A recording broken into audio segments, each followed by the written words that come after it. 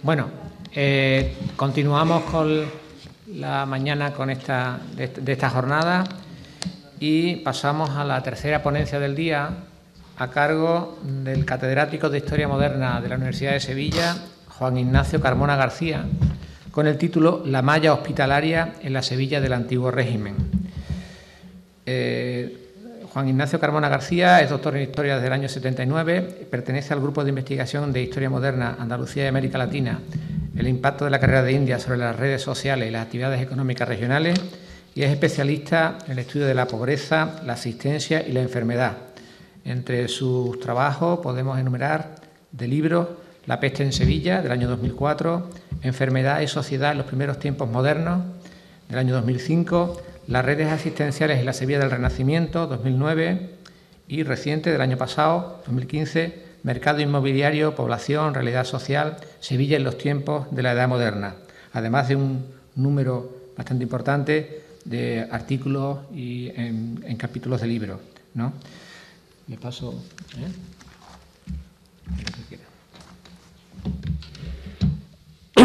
Buenos días antes que nada, pues agradecer a los organizadores de, estas magníficas jornadas eh, la invitación que me han cursado para eh, estar aquí un rato con todos ustedes y también agradecer su presencia. Eh, el tema sobre el que voy a estar aquí eh, en este tiempo mm, charlando, porque me gusta que estas intervenciones mías no, sean muy académicas, más bien en un sentido más espontáneo y de charla sobre la cuestión que voy a tratar. Eh, aparece en esta tercera sesión de la jornada, que el título es de instituciones sanitarias y asistenciales. Y he procurado, pensando precisamente en responder a ese título de esta sesión última, el presentaros eh, aquí brevemente, esquemáticamente incluso, eh, cuáles eran aquellas instituciones sanitarias, asistenciales, en el transcurso de la Edad Moderna, recordar, estamos refiriendo fundamentalmente a los siglos XVI, XVII, XVIII, y eh, luego pues voy a intentar concretar, sin extenderme demasiado, en, el caso de Sevilla, que es eh, la ciudad que nos puede servir para, de forma paradigmática, comprender todo ese abigarrado mundo de organismos, de instituciones que existían en aquella época. Eh, primero, unas características generales que se pueden aplicar a cualquier parte de la geografía española o incluso occidental en estos primeros tiempos eh, modernos, y es que eh, estas instituciones eh, benéficas presentaban una tipología muy variada, muy diversa. curiosamente, digo curiosamente, como voy ahora a deciros, se les solía denominar hospital o hospitales, ¿no? y se hablaba de distintos tipos de, hospitales. Y eso eh, lo que nos genera es una cierta confusión con lo que era la realidad institucional de estos centros, de estos establecimientos benéficos. ¿Por qué? Porque eh, cuando se habla, por ejemplo, eh, no sé, por poner algún ejemplo, el Hospital de Santa Marta de Sevilla, pues, ¿qué era el Hospital de Santa Marta de Sevilla? Pues era un refectorio, era un lugar donde allí iban al mediodía determinadas personas necesitadas y se les distribuía algo de alimento. Ese era el Hospital de Santa Marta. El Hospital de la Misericordia también de Sevilla. Pues, ¿qué era? Pues era una institución formada por una hermandad cuyo sentido fundamental era dotar, eh, eh, entregar dotes para que doncellas humildes, jóvenes, pudieran contraer matrimonio o entrar en un convento. Y así podríamos poner muchísimos ejemplos. ¿Qué quiero indicar con esto? Pues que cuando se habla del hospital de, ya sea aquí en Aral o eh, en cualquier otra parte, eh, no implicaba un centro destinado a la curación de los enfermos.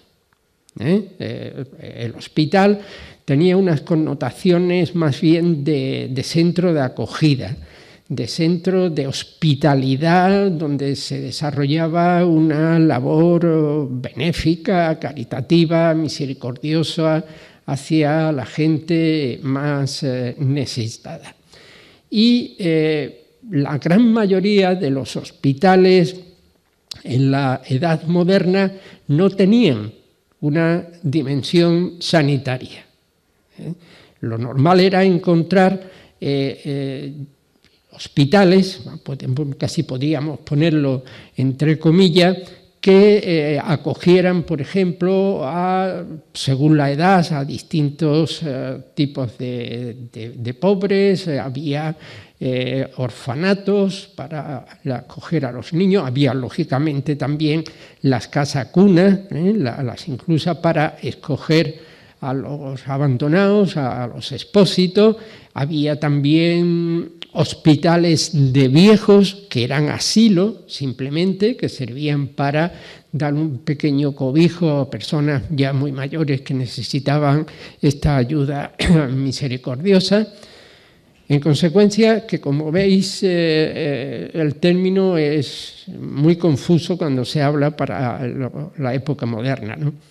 Pero además la cosa se complicaba mucho más porque eh, resulta que había muchas eh, corporaciones eh, gremiales y también otras hermandades o cofradías de, piedad, de, caridad, que sin que sus miembros desarrollasen una labor de atención al enfermo o de dispensar cuidados sanitarios, pues denominaban a sus casas hospitales. Y así, por ejemplo, eh, la cofradía de los zapateros, a la sede en la que se reunían los zapateros para decidir todo lo relacionado con la corporación profesional, etcétera, se le llamaba el hospital de y se le ponía una vocación de un santo o de una virgen y con la denominación de hospital por delante. Entonces uno puede pensar, bueno, pero ¿qué? Pues un poco por tradición, por una dimensión religiosa que el término de hospital tenía desde tiempos medievales. ¿no? En consecuencia, ya os digo, eh, cuando leáis algo o os acerquéis a conocer los, hospitales que había en un determinado pueblo, en una determinada ciudad, tener siempre presente lo que os estoy comentando, ¿no? que muy pocos de entre todos los hospitales tenían esa dimensión sanitaria. Eh, luego, como os digo, también había hermandades, eh, mm, bueno, para ir concretando algo más la, función que tenían estos centros de las eh, corporaciones gremiales que ya os comento, pues eh, muchas no tenían ningún tipo de labor asistencial. ¿eh? Se limitaban a celebrar sus reuniones, a las fiestas típicas, sacar al titular de la cofradía en procesión, etcétera, y pues nada, organizar actos religiosos buscando siempre la salvación eterna de sus afiliados y eh, casi, casi como característica eh, común el de ayudar a los más pobres a la hora de la muerte y del entierro. Pero no tenían, como os digo, ningún tipo o muy poco de asistencia a sus propios agremiados. Sí desarrollaban algunas corporaciones gremiales, de estas cofradías de los gremios, lo que se llamaba el socorro mutuo, es una pequeña ayuda económica y de atención para aquellos eh, componentes de, la cofradía que pasasen por auténticas necesidades, ¿no? como mucho. Pero ya os digo, no os vais a encontrar un hospital gremial en donde haya allí un equipo médico ¿eh? capacitado para atender a los enfermos. Eso no tenía nada que ver con lo que era la propia denominación de hospital. Lo mismo podemos decir de las eh, hermandades eh, o cofradías de, penitencia. Bueno, había muchos tipos, que lo sabéis, ¿no? De gloria, unas que sacaban por sesiones, otras no, etcétera. Y con estas asociaciones o con estas cofradías pasaba exactamente lo mismo.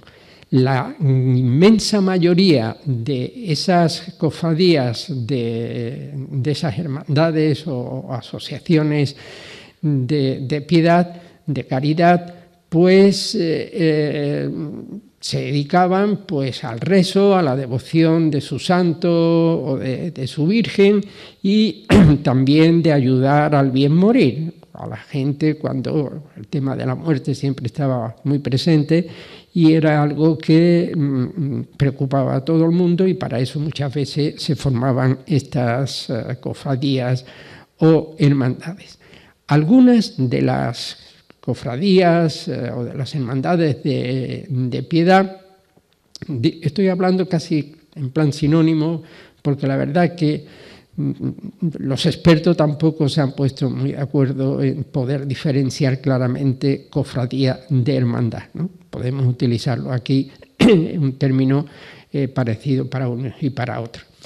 Eh, como os digo, pues algunas de estas hermandades eh, de penitencia, de, piedad, de gloria, etcétera, sí que eh, tenían cierta labor benéfica y en determinadas ocasiones, pues si quedaba algo de dinerito de lo que ponían los hermanos para las fiestas y cosas de estas, ayudar a unos cuantos pobres, ayudar en el sentido de repartir algo de comida, de repartir vestidos, eh, etcétera, ¿no? Pero tampoco en estas eh, cofradías eh, de penitencia o de piedad tenían contratado a un equipo médico, a un equipo sanitario para atender a los enfermos. Sin embargo, todas se llamaban hospitales, se llamaban hospitales.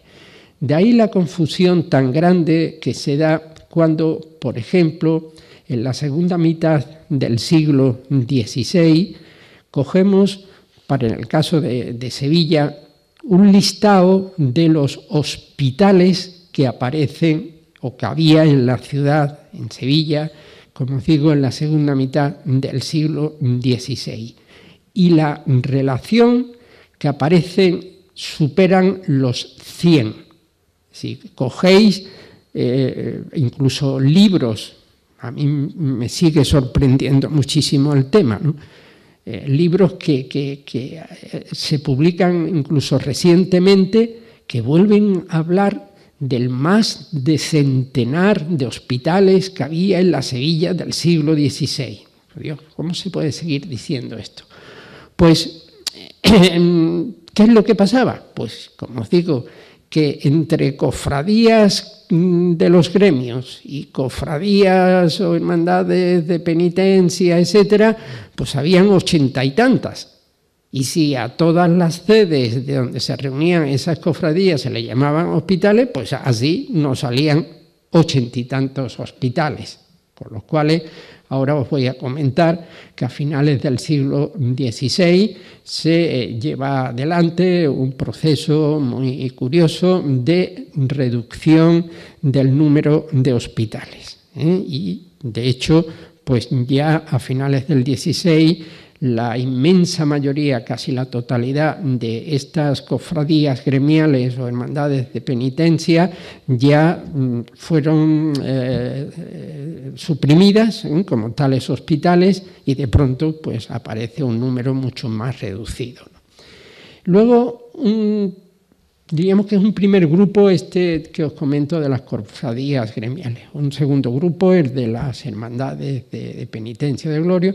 Luego había un tercer grupo de hospitales en donde se incluía la ayuda, la asistencia a, como os comentaba antes, pues a niños, a ancianos, a mujeres, etcétera, y ahí había también un amplio número que eh, no tenía, por ejemplo, para que, por si os suena alguno, en Sevilla y en otras localidades importantes eh, existía el llamado Hospital de los Niños de la Doctrina. ¿eh? ¿Qué era eso del hospital de los niños de las doctrinas? Pues simplemente era un orfanato, era un internado, un correccional, para hablar pronto y claro, ¿no? En donde, debido a una acción eh, benéfica de alguna que otra eh, corporación o asociación, pues se acogía unos cuantos críos que iban por la calle y allí se les intentaba educar, se les intentaba corregir de sus malas costumbres y en la medida de lo posible si luego pues podía ponerlos a trabajar con algún artesano, como aprendices, etcétera, pues bienvenido sería, ¿no? En consecuencia, tampoco estos hospitales ¿eh?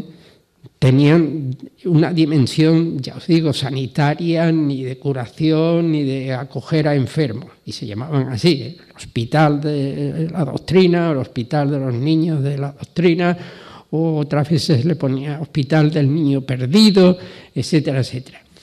Estaba también la, casa cuna, que acogía a los abandonados, a, los expósitos, ¿no? Pues para eso también muchas veces recibe el nombre de hospital, ¿no? El hospital y se le da una determinada...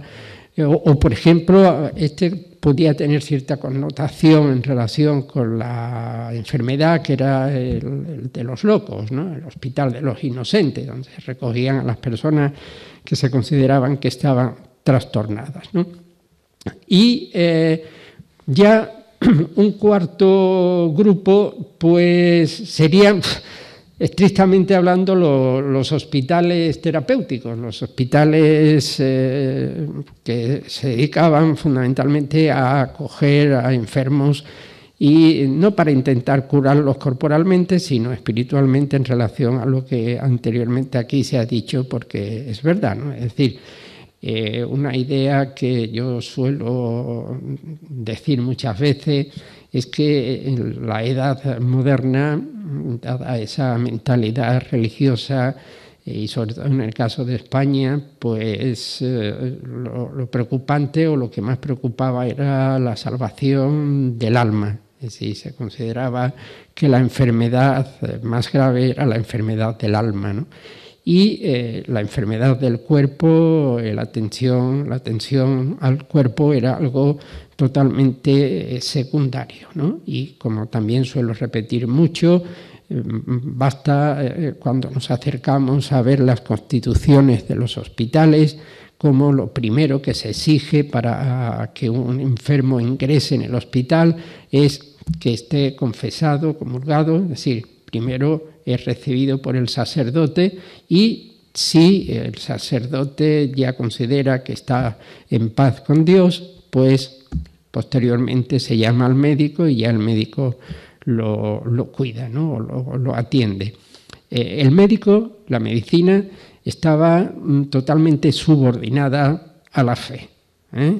Y la medicina y además teniendo en cuenta, en cuenta eh, desde la perspectiva de esa mentalidad religiosa el desprecio que la Iglesia en conjunto tenía por el cuerpo, el cuerpo realmente era casi un lastre, lo importante era el alma, pues por eso lo importante era intentar salvar el alma, curar el alma mediante la oración, la ayuda espiritual, etcétera, etcétera. Eh, como característica también que se puede extender a casi todos estos hospitales de la edad moderna es que eran, como diría, centros muy especializados. Se, habían fundado fundamentalmente, no penséis que por la corona o por la propia iglesia o incluso ni siquiera por las grandes familias nobiliarias, no. La inmensa mayoría de las instituciones sanitarias y asistenciales habían surgido gracias a la iniciativa particular. ¿eh? A estas asociaciones, a ese espíritu asociativo que tanto imperó a lo largo de la Edad Moderna y fueron estas asociaciones eh, de particulares las que formaron la mayor parte de los hospitales. También hubo, lógicamente, hospitales fundados por miembros de la nobleza, eh, por algún que otro miembro de la jerarquía eclesiástica y también, todo hay que decirlo, algunos por la propia corona, ¿no? por, la, por la monarquía, pero eran concretamente los menos. Eh, como una característica que siempre hay que retener es que cuando se fundaba un hospital, el fundador o los fundadores les daba eh, unas constituciones muy concretas, unas especificaciones muy precisas de para qué se fundaba el hospital y cuál era la finalidad que iba a tener y quiénes eran los que podían acogerse a ese hospital. Quiero decir con ello que mm, lo que hoy podemos entender por un hospital general, es decir, un hospital grande, abierto a todo tipo de enfermos, etcétera, eso prácticamente era inexistente en la Edad Moderna. Había algún que otro, a lo mejor, en alguna ciudad de España, pero eh, no había ningún, por ejemplo, en el caso de Sevilla, y mira que había, pues en el caso de Sevilla no había ningún hospital general. Decir, no había ningún hospital en el que cualquier persona, al poderse sentir enferma, fuera para que la atendieran, la atendieran allí al hospital. ¿no? A este respecto también hay que decir otra cosa, y es que mm, los hospitales eran centros de caridad, eran centros de beneficencia. Allí a un hospital iba mm, quien no podía ser atendido en su casa ni por su familia eran lugares concretamente de beneficencia, ¿no? como os digo, y eso pues continuó hasta comienzos del siglo XIX, entre otras cosas porque las condiciones de los hospitales dejaban mucho que desear y eh, el estar en un hospital tampoco eso era ninguna garantía de, sanar, como mucho a lo mejor, ahora quizás lo comente, de recibir alguna alimentación adecuada, ¿no? Entonces se pasaba tanta hambre que el, hecho de, poder ser alimentado, pues ya eso era algo, algo importante. A lo que iba. Entonces, creación de muchos hospitales eh, que no eran hospitales generales, hospitales que tenían una función muy delimitada por sus constituciones y por lo tanto no eran establecimientos que se abrían a cualquier público. Entonces, eh, solía, por ejemplo, dentro de los hospitales eh, terapéuticos, hacer diferenciación por enfermedades. Entonces se creaba un hospital y eh, ese hospital, por ejemplo, se dedicaba a la atención de los llegados. Pues bien, ya una persona pudiera estar muriéndose o a punto de morirse, como no tuviera llaga, allí no los admitían. ¿eh? Eh, lo más frecuente eran hospitales para la atención de calenturas. Pues digo lo mismo, uno se podía estar muriendo, pero si no tenía calentura, allí no era acogido. ¿Mm? Eh, hospital, esto venía desde los tiempos medievales, de leprosos, simplemente para atender ¿eh? a, la gente que habían padecido el mal de San Lázaro y así muchos otros, los hospitales de San Antón que se dedicaban concretamente a, luchar contra la, la erisipela eh, en fin, y podíamos poner otras enfermedades distintas. Luego, por ejemplo, ya a finales del siglo XV y a lo largo del XVI, pues se empiezan a fundar los hospitales de sífilis, en los llamados hospitales de bubas, donde solamente atendían a los quienes padeciesen estas, esta enfermedad. También se hacía distinción, como os digo, por el sexo, entonces de género. Había hospitales de mujeres y hospitales de hombres, no habían hospitales mixtos. Es más, esta especie de represión mental que se ha tenido y se sigue teniendo todavía hoy en día acerca de, una educación, una atención eh, mixta en el mismo sitio, aquello era imposible a lo largo de la edad moderna. Los hombres por un lado, las mujeres por otra. ¿no? Es más, eh, en, los hospitales de mujeres, eh, como era el más sintomático, el más eh, importante, el de Sevilla, el Hospital de las Cinco Llagas, el Hospital de la Sangre, que muchas veces hay mucha confusión, porque cuando se ve el edificio, digo se ve porque en la, conferencia anterior os han expuesto ahí la, imagen del edificio, el actual Parlamento, ¿no? Entonces cuando se ve ese pedazo de ahí de edificio, del Hospital de la Sangre de, las Cinco Llagas, uno piensa, ese, qué pedazo de hospital, ¿no? Allí tenía que caber... Pues no, es decir, allí aquello era solamente para mujeres. ¿Eh? Y para mujeres que tuvieran determinados males o padeciesen determinados tipos de, eh, de calenturas. Pues bien, os digo todo ello porque el Hospital de la Sangre, que era un hospital de mujeres, era casi un convento de clausura. Aquello estaba totalmente eh, lleno de rejas, de prohibiciones de que los hombres pudieran entrar en las enfermerías, que las mujeres fueran atendidas exclusivamente por eh, enfermeras o asistentes sociales también femeninas, etc. Solamente el médico ¿eh? era el que podía llegar a, acercarse a, las enfermas. Bueno, son otras connotaciones que tampoco me quiero extender en demasía con ellos.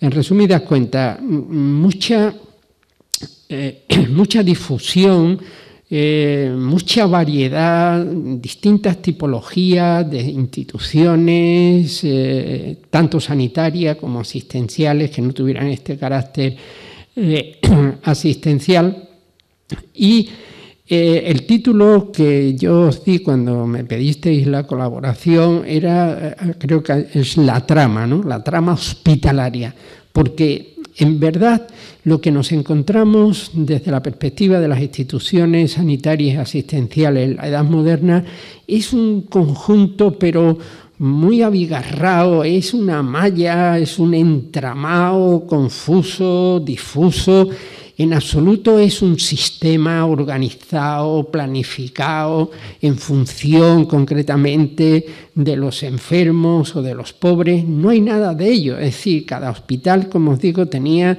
su propia constitución, tenía su reglamento interno, etcétera, etcétera. Eh, la, la, única característica común a todos ellos era la tutela en que la Iglesia podía ejercer acerca de estas instituciones. ¿Por qué? Porque se consideraban que estos hospitales eran instituciones religiosas, ¿eh? incluso desde su nombre y también, por ejemplo, los bienes, las propiedades de los hospitales eh, se consideraban bienes eclesiásticos.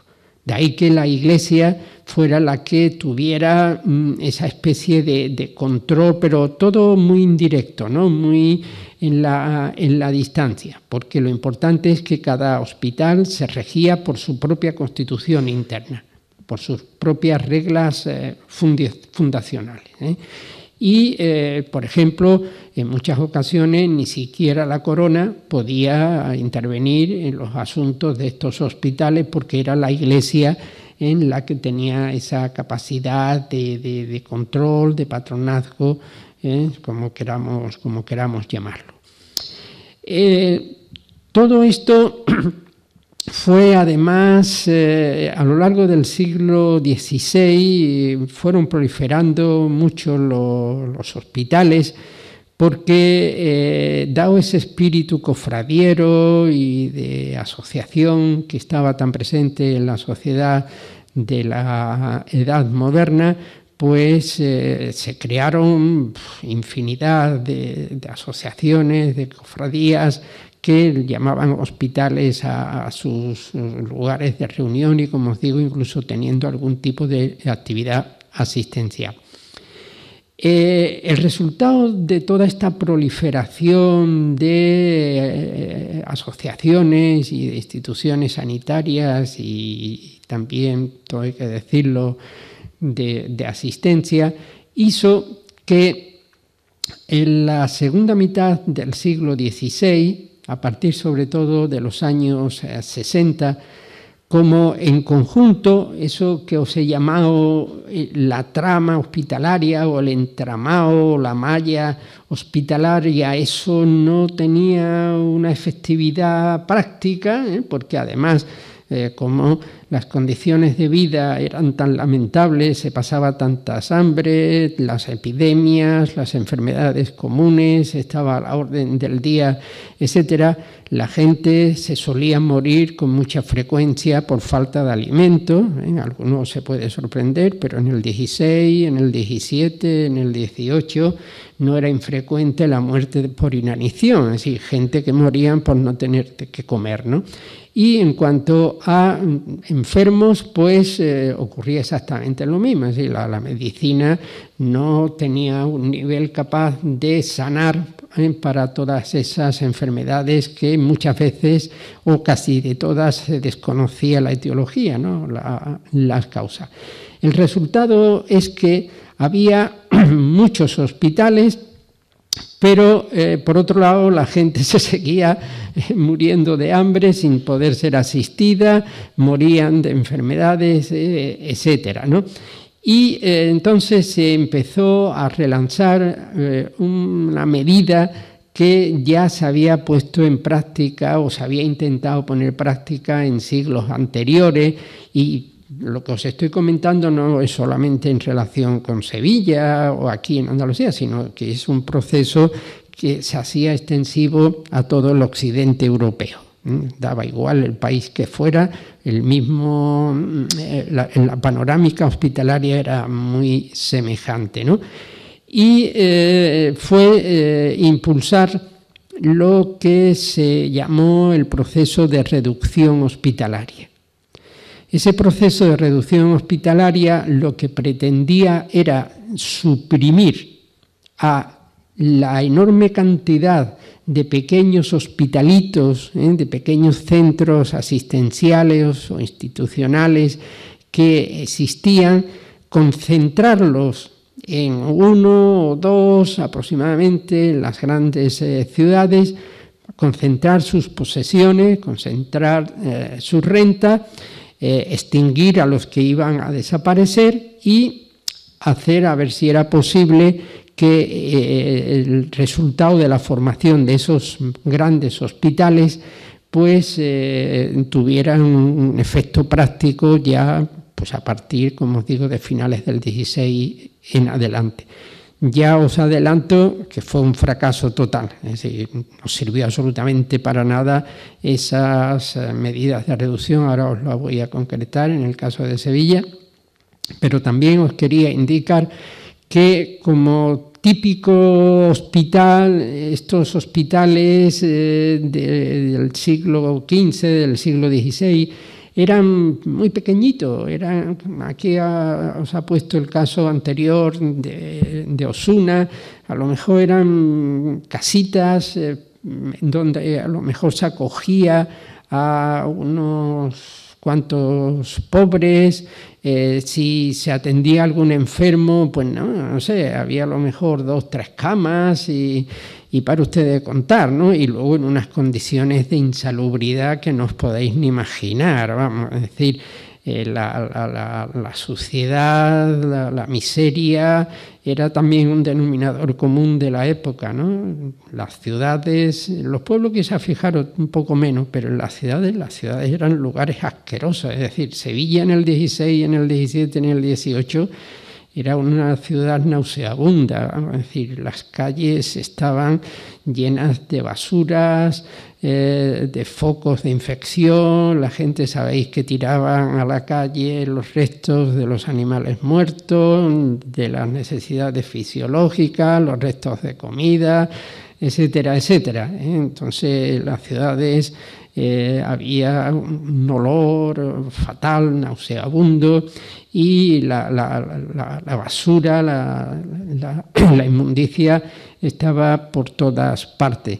Pues imaginaros lo que sería también dentro de las casas, es decir, es que no había normalmente, hoy cuando tenemos, buscamos el piso, la casa, primero es tener un cuarto de baño o dos, lo mejor posible, etcétera pensar que entonces aquello era inexistente ¿eh? y por lo tanto los niveles de insalubridad en lo que se vivía eran terroríficos, eran terroríficos. En consecuencia, que entrar en un pequeño hospital era algo de lo más desagradable. Además, solían tener pocos recursos, estar dotados con pocos ingresos, con lo cual dentro del hospital también se pasaba mucha necesidad, ¿eh? había mucha escasez de, todo.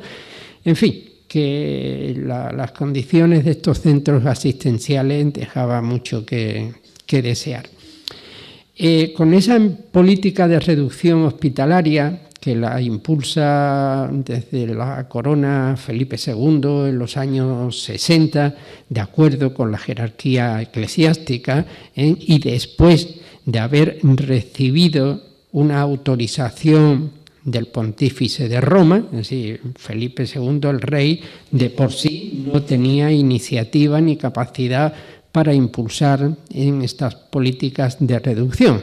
Primero se consigue la autorización de Roma, del Papa, y luego en contacto con la jerarquía eclesiástica, por ejemplo, en el caso de Sevilla, la figura clave fue el cardenal Rodrigo de Castro, que fue el que se encargó, junto con las autoridades municipales y delegados de la corona, el de intentar impulsar esa política de, reducción, esa medida de reducción.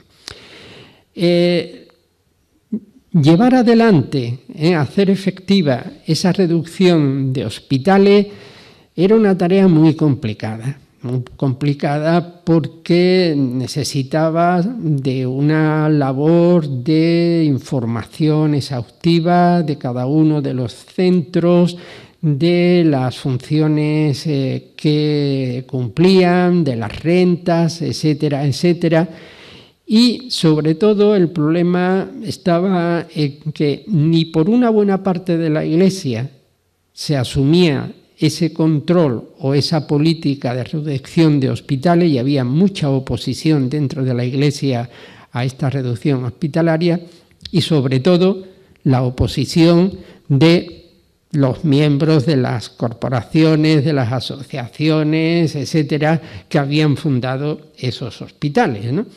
Con lo cual, se habla muy poco de, ello, ¿no? pero en la segunda mitad del siglo XVI, sobre todo en las décadas de los años 70, 80, 90, esta, esta, medida de la reducción tuvo que ser de un escándalo público tremendo. ¿Por qué? Porque es que eh, los, quienes habían fundado esos hospitales, quienes eh, habían además eh, dejado una serie de, bienes, de, posesiones para que pudieran funcionar, lo que no mm, estaban dispuestos a aceptar es que esos hospitales fueran reducidos, fueran extinguidos y que desapareciesen así como, como así.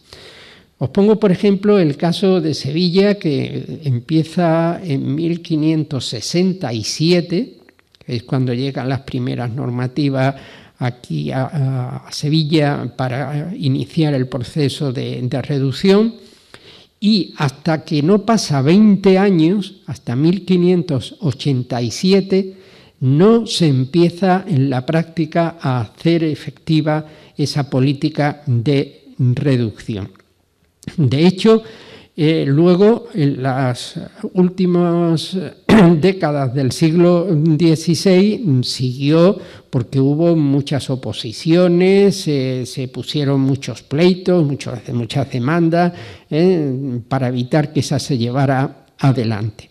En el caso de Sevilla eh, sí salió, sí salió adelante, eh, pero con unos resultados, como ahora os voy a comentar, mm, bastante mm, reducidos, y no, no, sirvió apenas para casi nada. Eh, la prueba de que era una medida muy conflictiva y muy difícil de llevar a la práctica es que, por ejemplo, en el resto de Andalucía casi no se dio, salvo a lo mejor el caso de Jerez, quizás que yo conozca, o luego en algunas localidades importantes como Écija o Antequera, pero esto ya muy avanzado el 17, cuando se hicieron reducciones parciales.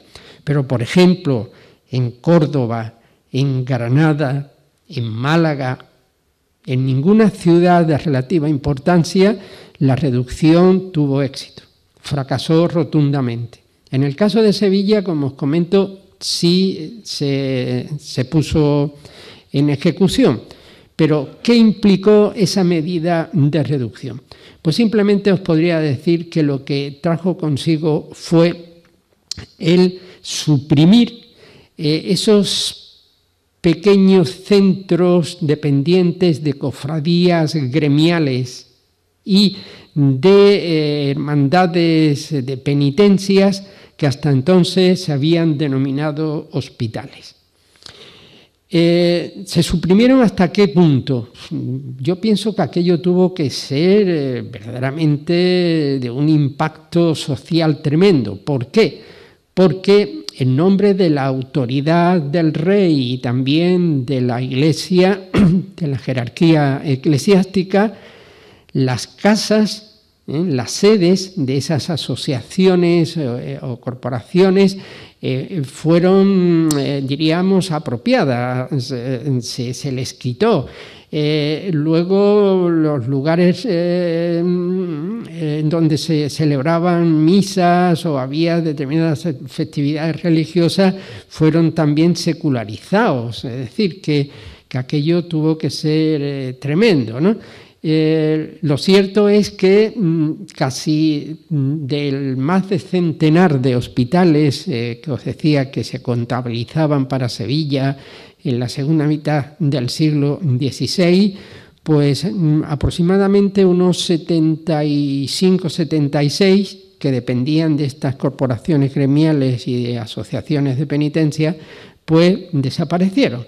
Entonces ya a partir de 1500 87 nos encontramos con que el número de hospitales existentes en Sevilla, pues verá, eh, seguía siendo importante, porque podemos hablar de, 15 o 20 instituciones entre asistenciales y, sanitarias, ¿no? Pero por de pronto ya desapareció ese enorme número de otros hospitales que no tenían sentido que incluso fueran llamados hospitales. Desde el punto de vista de la asistencia, de la, curación de enfermos, eh, ¿tuvo alguna incidencia notable esta política de la reducción? Pues muy poca, prácticamente casi ninguna. ¿Por qué? Porque eh, los hospitales que siguieron después de la reducción hospitalaria siguieron mm, eh, determinados por sus propias constituciones internas. Es decir, el Hospital de la Misericordia, que en Sevilla, que permaneció eh, existiendo como tal, ya os digo, se dedicaba a conceder dotes para casar a doncellas necesitadas o para ingresar en un convento. Cuidado, y hasta en esto eran muy selectivos los hospitales. ¿Por qué? Porque se especificaban muy bien las características que debían tener esas jóvenes, esas doncellas, para recibir las dotes. ¿Como cuáles? Pues, por ejemplo, se preferían a los familiares de los propios miembros de la hermandad. que pertenecieran a familias, eh, como os diría, devotas, honestas, eh, etcétera, etcétera. Estaba muy claro que a tantísimas jovencitas como había por las calles, porque la presencia de las chicas necesitadas en, aquella época por las calles, que eso era algo realmente alarmante, pues bien, estas muchachas que para, eh, para poder vivir tenían que mendicar, que recabar ayuda o también la práctica más frecuente, la prostitución, ¿eh? entre otras cosas porque además mm, no se podía ni siquiera casar o ingresar en un convento porque, no sé si esto lo sabéis o no, para contraer un matrimonio adecuado o ingresar en una orden religiosa se necesitaba tener una dote. Una jovencita sin dote no iba a ningún lado, no encontraba marido ni podía ingresar en un convento, normalmente. Con lo cual, como una labor caritativa, una labor benéfica, era la de conceder estas ayudas eh, para que eh, jóvenes eh, casaderas o que quisieran ingresar en, en, un convento lo pudieran, lo pudieran hacer. Para no irme de lo que os estoy comentando, por ejemplo, en el Hospital de la Misericordia, que concedía estas dotes para las doncellas, allí no podían acogerse ninguna, mujer, una muchacha humilde, pobre, mendiga, prostituta, etcétera, etcétera. Es decir, eh, no había esa dimensión de ayuda al necesitado que, que, hoy a lo mejor se puede tener en algunos momentos. ¿no? Y eh, lo mismo podíamos decir de los otros establecimientos que quedaron en Sevilla después de la reducción de finales eh, del siglo XVI. Mm, os hablaba antes, por ejemplo, del Hospital de Santa Marta. El Hospital de Santa Marta, que estaba muy vinculado con la Iglesia, pues no fue extinguido, continuó ya a lo largo incluso del XVII en adelante. Pues bien, el Hospital de Santa Marta siguió siendo un refectorio, un lugar a donde iban al mediodía algunos pobres a solicitar allí algo de, comida y ya está. Y así podíamos hacer, yo tenía aquí una lista, pero no quiero hacerlo porque es muy, muy cansino. Había, por ejemplo, también algunos, los hospitales que os decía de los niños, el Hospital de Niños de la Doctrina Cristiana, o también el correspondiente de las niñas, el Hospital de Niñas Huérfanas, ¿A qué se dedicaban? Pues eran orfanatos, eran correccionales, eran internados. Cogían, iban por la calle los hermanos y cuando se encontraban a estos muchachitos y estos chavales, chicos o chicas que estaban mendigando o dedicados al pequeño hurto y eso, los recogían y se los llevaban allí al centro, los internaban y procuraban un poco adoctrinarlos, enseñarles las normas básicas de conducta y luego más adelante, si podían, pues lo ponían a las niñas en el servicio doméstico y, a los niños, pues eh, aprendices de, artesanos. Pero en estos hospitales no se atendía a los niños ni a las niñas enfermas. ¿eh? Es decir, que. Y, era un problema gravísimo. ¿Por qué? Porque hay muchas quejas, conozco muy bien el tema de estos hospitales o de estos orfanatos eh, que llevaban a, los, a las criaturas enfermas a los hospitales sanitarios y los hospitales sanitarios no lo atendían, porque según sus constituciones no tenían la obligación de acoger a estos pobres chiquitos por ejemplo, era muy frecuente en el caso de estos chavales el tema de, los tiñosos, ¿eh? de, la tiña, etc. ¿no? y pues aparecían allí los pobres caracaditos de parásitos y no, no había quien los, quien los atendiera. En este sentido, citar que en la segunda mitad del 17, ya habían avanzado el 17 en el caso de Sevilla, y también estaba ocurriendo en otras partes eh, de España, eh, se fundó, se creó el hospicio de la Santa Caridad, gracias en este caso de Sevilla a la figura de don Miguel de Mañana, El Hospital de la Caridad o el Hospital de San Jorge mm, era muy antiguo y la función del Hospital de San Jorge eh, era, ¿sabéis cuál? Pues fundamentalmente la de recoger a los cadáveres de la gente que se encontraban abandonados por las calles. Ya os decía que en el 16, en el 17, en el 18 no era infrecuente que la gente muriera de frío, de hambre, de enfermedad y morían allí donde les pillaba. Y en las calles, en los soportales, ¿eh? era relativamente fácil encontrar cadáveres. pues esa hermandad de San Jorge o ese hospital de San Jorge, su misión fundamental era la de enterrar ¿eh? cristianamente a estos cadáveres que se habían encontrado los hermanos cuando hacían las rondas nocturnas. En la segunda mitad del siglo XVII, eh, don Miguel de Mañara, pues eh, dándose cuenta del drama social que había en cuanto a la, pobreza, a la enfermedad, al abandono de mm, la población, crea primero el hospicio de la Santa Caridad, y, como digo, la característica diferente del hospicio o del Hospital de la Caridad respecto a los anteriores o a los otros que había es que aquel sí que fue de puertas abiertas. Es decir, la grandeza del Hospicio de la Caridad fue que, gracias a las directrices de su fundador, allí no había ningún tipo de exclusión, no había ningún tipo de selectividad cualquier persona necesitada, que eh, era un hospicio que primero apareció como albergue, es decir, solamente para eh, ofrecer un refugio nocturno a aquellas personas que se morían de frío, que estaban en tiradas de la calle. Entonces, el hospicio de la caridad se inicia como, como albergue nocturno para dar un algo de techo y, algo de lumbre para, evitar el, frío. Y eh, fijaros, fue tal la, o era tal la, demanda que había de ese tipo de ayuda que en los años iniciales del hospicio de la caridad, eh, las propias cartas de don Miguel Mañara se, se, se especifica muy claramente estaba verdaderamente súper preocupado porque decía que diariamente se acercaban 400, 500, 600 pobres para demandar ese refugio, ¿no? gente ya prácticamente al borde de la, de la muerte.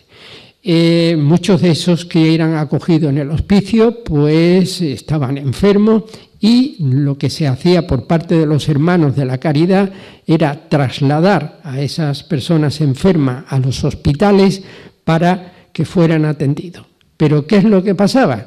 Pues ya os lo podéis imaginar, llegaban a las puertas de los hospitales, ¿qué padece tal persona? Pues si, lo llevaba al hospital de calentura, si no tenía calentura, no podía entrar si lo llevaba, como es lógico, al hospital de la buba, si no tenía la sífilis, pues no podían entrar.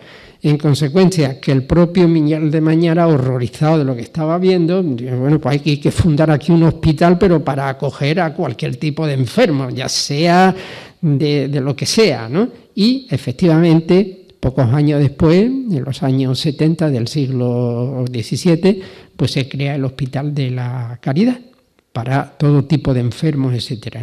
Igualmente desbordado, abrió primero una enfermería, al poco tiempo tuvo que abrir una segunda, al poco tiempo tuvo que abrir una tercera y estaba totalmente desbordado. En consecuencia, ya un poco para ir terminando, porque no quiero cansaros mucho, deciros que esa política de reducción de hospitales eh, en realidad no alteró para nada esa trama hospitalaria que os he citado, que os he hablado desde, desde el principio. Siguieron habiendo mm, numéricamente ¿eh? un número alto de, instituciones asistenciales y eh, sanitarias. En la Sevilla de la segunda, del 17 y del 18 eh, muy bien podían superar los 20, había más de 20, pero de nuevo volvemos a lo mismo. Y además en el siglo XVII hubo un problema tremendo con la crisis económica, pues la mayor parte de estas instituciones igualmente se empobrecieron, no tenían ingresos, no tenían con qué atender a sus acogidos, etcétera, etcétera. Así se produjo una quiebra económica tremenda de las instituciones benéficas en el siglo XVII que continuó luego en el siglo, en el siglo XVIII. Con los hospitales más estrictamente sanitarios, pues lo mismo los cinco o seis que había, el de la sangre, el del cardenal, el tema también de los heridos, que se dedicaba sobre todo a tareas de, cirugía, el de la sífilis, que había dos, el de San Cosme y San Damián y el del Espíritu Santo, eh, y algún que otro de hospital, del, del amor de Dios para atender de calentura, pero como os comentaba anteriormente, se veían totalmente desbordados por la demanda que había de tantas personas como padecían esas enfermedades.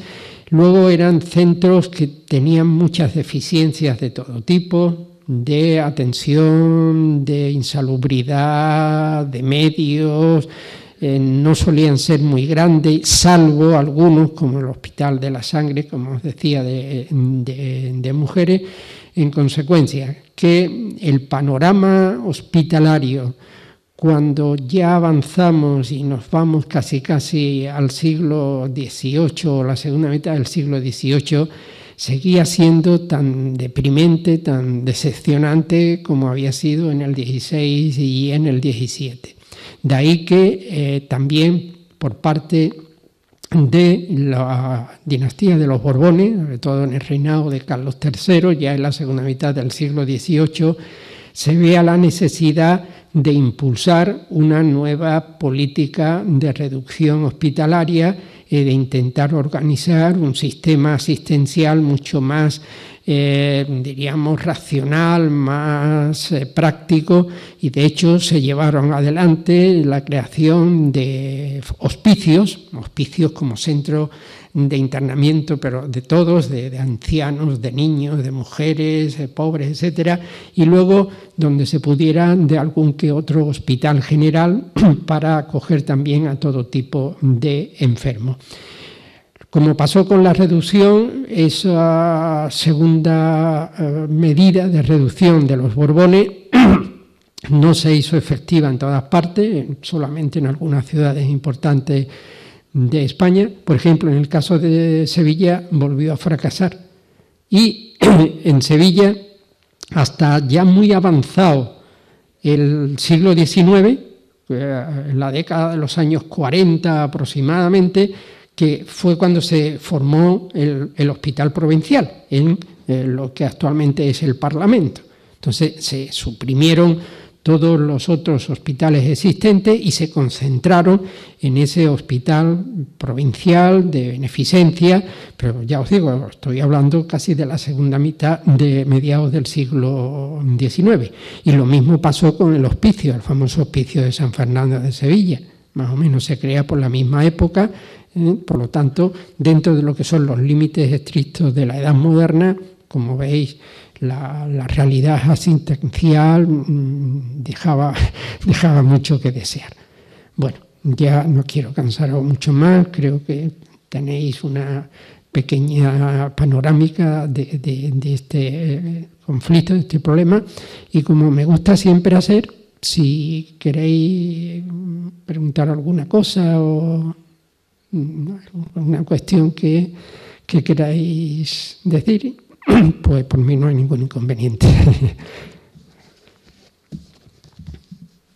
si no, pues...